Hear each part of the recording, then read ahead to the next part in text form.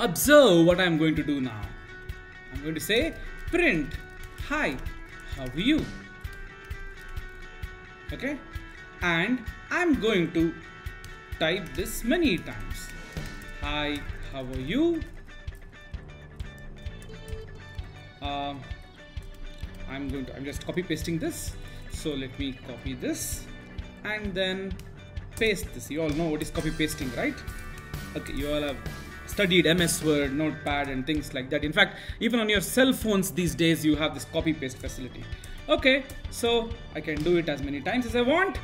So as you see i have typed this 10 times. Now when i run this code it says hi how are you? Hi how are you? 10 times. Uh, what if i want this to be displayed 100 times remember we discussed something similar to this on scratch right? You recollect it right? We introduced you to what is called the looping structures how to repeat a task many times how to instruct the computer to repeat a task many times. I'm going to do that right now. Just observe. So this 10 times if i want, were to do this 100 times i must copy paste this 100 times. That's a very tedious task. So python has a nice way to do this let me show you how it's done. For i in range 10 what does it mean? Don't worry. I'll tell you. Print hi. How is everything? Uh, maybe. Uh, I should put a comma here. Let me be precise. Okay good. Hi how is everything? And a question mark here. Boom. My english is bad. Okay. So for i in range 10 print hi how is everything?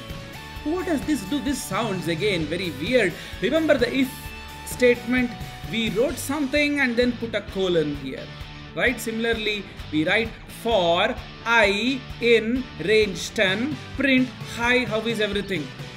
Bear with my speed don't worry. Let's see what happens when we execute this and then i'll explain what exactly this is doing.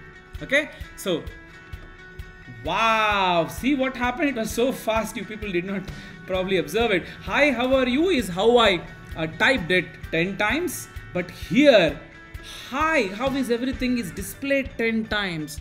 How did this happen? Let's observe.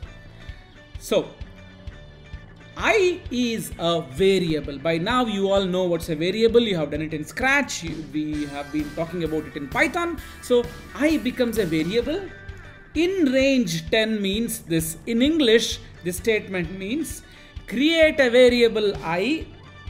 Range 10 means start assigning the values 0 1 2 3 4 5 6 7 8 9 to i. I repeat.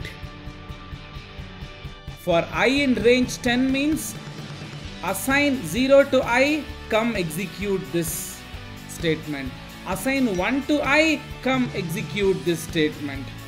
Okay? Assign 2 to i come execute this statement. 3 to i execute this statement and so on. Right? Perfect. So i varies from 0 to 9 and hi how is everything is displayed 10 times. Confusing? Don't worry. As and always practice makes a person perfect. Let's practice more of this for loop for let me remove this delete for i in range 5 print i. Now this will teach you how for loop works. Okay let me run this. What is happening? 0 1 2 3 4 i variable takes the value 0 1 2 3 4 whatever you put here it starts from 0 and counts five numbers and one at a time is assigned to i. And then that particular value of i gets printed here. You see 0 1 2 3 4 if i were to say 10 here you guessed it right. It will say 0 1 2 3 4 5 6 7 8 9 if i say look at this print hi you are in um, number let's say close it comma i. What does it do let's see. Ha hi you are in number 0 you are in number 1 you are in number 2 you are in number 3 you are in number 4 and so on. Right? Perfect. This makes it very clear to you what we are doing. Okay? Let me display the multiples of 2 how do i do that? I'll delete everything. Let me start from beginning. For i in range 10 colon and then you should put a tab here i should come here and tab is because you cannot start from here. You should always start from here okay? So let me type. Um, print. Uh, I will simply say i into 2 you know what this does? This will simply display your two tables. Let me click this run and observe what happens here run and boom.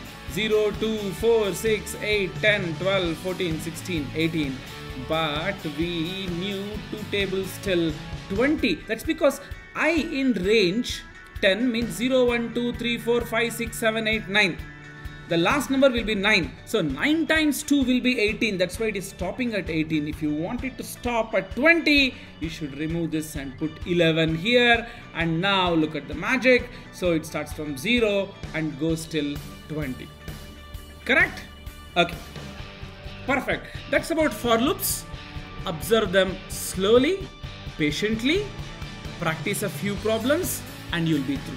What we will now do is we'll go ahead and discuss more of for loops so that it becomes very familiar to you. Okay, it is at this point that you must understand everything of what I have said about for loops. Okay, so take a pause, observe the video once again if you want, write a few programs, and let us see more of for loop in the forthcoming lectures.